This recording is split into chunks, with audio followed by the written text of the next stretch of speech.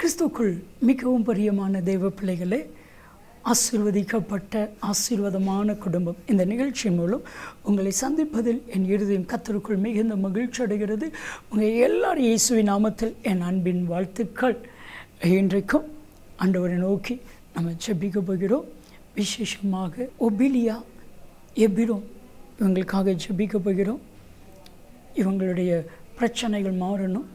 ஒபிலியா சகோதரியுடைய மன அழுத்தம் மன வேதனை மன கஷ்டம் மாறணும். எப்படிரும் அவங்களுடைய மதுபான பழக்கம் மாறணும். இதற்காக நம்ம ஜெபிக்க போகிறோம்? என்னோடு கூட இணைந்து ஜெபிப்பீர்கள். நாம் ஜெபிக்கலாம். அன்பின் பரலோக பிதாவை எப்பொழுதும் ஒபிலியா எபிரோ இவர்களுக்காக இவருடைய குடும்பத்திற்காக ஜெபிக்கிற வர அப்பா மனவேதனையோடு கூட இருக்கிற அன்பு சகோதரருடைய எல்லா மன அழுத்தம் எல்லா வேதனைகள் மாறட்டும். அண்டவரை எபிரோனுடைய குடி பழக்கம் குடி பழக்க வழக்கங்கள் மாறட்டும் அண்டவரை ஆண்டவரே யாராவது மன வேதனையோடு மன அழுத்தத்தோடு மன கஷ்டத்தோடு இந்த ஆசீர்வாதமான குடும்பத்தை பார்த்து கொண்டிருப்பார்கள் ஆனால் அவருடைய மன பிரச்சனைகள் மாறட்டும் ஆண்டவர். ரெண்டு தீமத்தி ஒன்று ஏழின்படி தெளிந்த புத்தியுள்ள ஆவியை கொடுத்தேன். அப்பா அப்படியே செய்கிறதற்காக நன்றி. நீங்கள் பேசுங்க நாங்கள் கேட்குறோம். இயேசுவி நாமத்தில் சுப்பிக்கிறோம் ஜீவனில் பித்தாவே ஆமே ஆமே. பிரியமான தெய்வ பிள்ளைகளே ஆசீர்வாதமான குடும்பம். இந்த நிகழ்ச்சிக்காக ஆண்டோடைய பாதத்தில் காத்திருந்த பொழுது கத்தர் சொன்ன கத்தருடைய வார்த்தை எந்த நன்மையும் குறைந்து போவது இல்லை பிரியமான தெய்வ பிள்ளைகளை நம்முடைய வாழ்க்கையில் எதெல்லாம் இன்னைக்கு குறைவாக இருக்குது? ஒரு பெரிய லிஸ்ட்டு போட்டு பார்த்தா குறை அப்படின்னு பார்த்தா நிறைய எனக்கு அது இல்லை இது இல்லை இதில் பிரச்சனை அதில் பிரச்சனை. நிறையா குறைவான காரியங்களை நம்ம சொல்லுவோம். இதெல்லாம் நிறைவாக இருக்குது அப்படின்னா கொஞ்சம் ஒரு சிலரை தான் ஒரு சில காரியத்தை தான் நம்ம சொல்லுவோம். ஏன்னா நம்முடைய மனசை நிறை நிறைவுபடுத்த முடியாது. நம்முடைய மனசை திருப்திப்படுத்த முடியாது. நம்முடைய கண்களை திருப்திப்படுத்த முடியாது. நம்மளுடைய வயிறை திருப்திப்படுத்த முடியாது. ஆனால் இன்னைக்கு ஆண்டவர் நன்மையினால் உங்களை திருப்திப்படுத்துவா. சங்கீதம் நூற்றி மூணு ஐந்து நன்மையினால் உன் வாயை நிரப்புவா. அப்போது கத்தருடைய நன்மை நீங்கள் எந்த நன்மை உங்கள் லைஃப்பில் குறையாக இருக்குது அப்படின்னு நீங்கள் நினைக்கிறீங்களோ அந்த நன்மையை ஆண்டவர் நிறைவாய் கற்றுக் கொடுக்க போகிறார். வேதாமத்தில் ஒரு வசனம் நம்ம எல்லாருக்கும் தெரிஞ்ச வசனம் தான் சங்கீதம் முப்பத்தி நான்கு பத்து. கத்தாவே உண்மை தேடுகிறவர்கள் சிங்க குட்டிகள் பட்டினி கிடைக்கும். ஆனால் கத்தரை தேடிகளுக்கு ஒரு நன்மையும் குறைந்து போவதே இல்லை. ஒரு நன்மையும் குறைந்து போகாது. உங்கள் லைஃப்பில் எந்த நன்மை இல்லை அப்படிங்கிறத நீங்கள் நினைக்கிறீங்களோ அந்த நன்மையை கத் கட்டாயம் உங்களுடைய வாழ்க்கையில் உங்கள் குடும்பத்தில் உங்கள் பிள்ளைகளுடைய வாழ்க்கையில் உங்களுடைய தொழிலில் எல்லாவற்றையும் கத்த செய்ய வல்லமை இல்லை தேவனாக இருக்கிறான் ஏன் இந்த நன்மை இல்லை? ஒரு நாள் ஒரு தம்பி என் நம்பரை கஷ்டப்பட்டு வாங்கி எனக்கு ஃபோன் பண்ணிட்டு பண்ணான். அது சொன்னான் அண்ணே நான் நல்லா இருக்கும்னு நினச்சேன். ஆனால் தீமைக்கு மேலே தீமை தான் எனக்கு வந்துட்டுருக்கு அது சொன்னால் நல்ல ஒரு கம்பெனியில் எனக்கு ஜாப் கிடச்சிச்சு.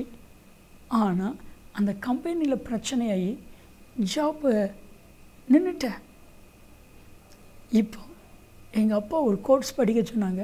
நான் அதை படிச்சுட்ருக்கேன்னே நான் சொன்னேன் எந்த நன்மை உனக்கு குறைஞ்சு போகாது. எல்லாவற்றுக்கும் மேலாக கத்த உன்னை நன்மையினால் நிரப்புவார்.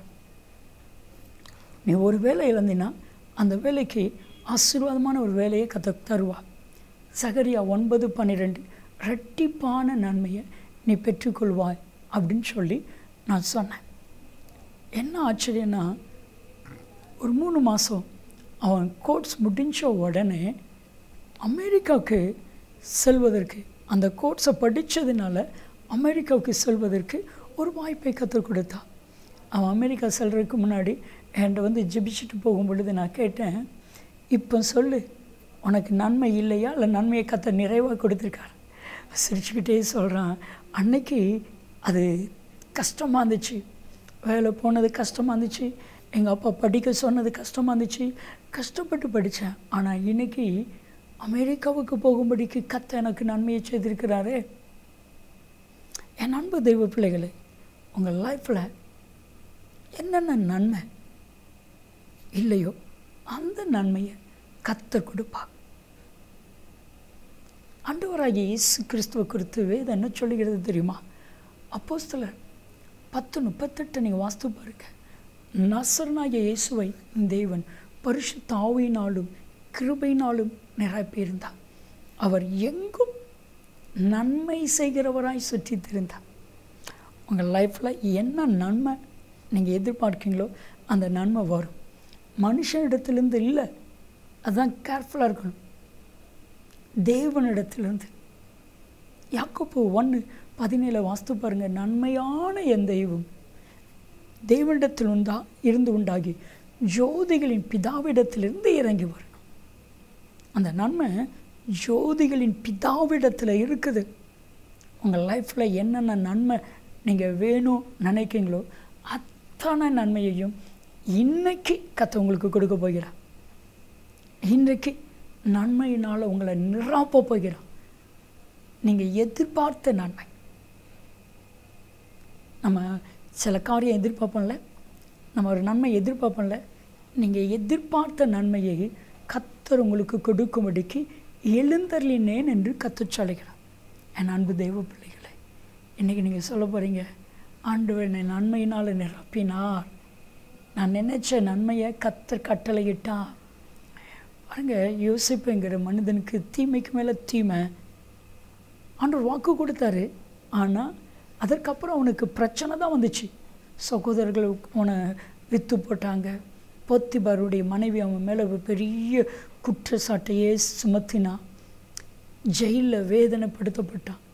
ஆனால் கத்த அத்தனை நன்மையாக மாற்றினார்.